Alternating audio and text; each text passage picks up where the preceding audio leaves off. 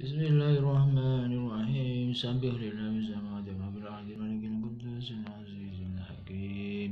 والذي بعث بالأمين رسولا منهم يسوع عليهم آياته ويزكيهم ويعلمهم الملكة والحكمة وإن كانوا من قبل في ضلال مبين.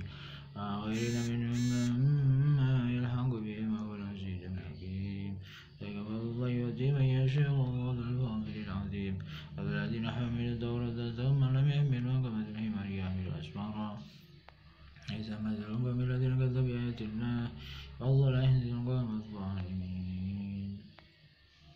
قل يا أيها الذين هادوا إن زعمتم أولياء لله من دون الناس فتمنوا الموت إن كنتم صادقين.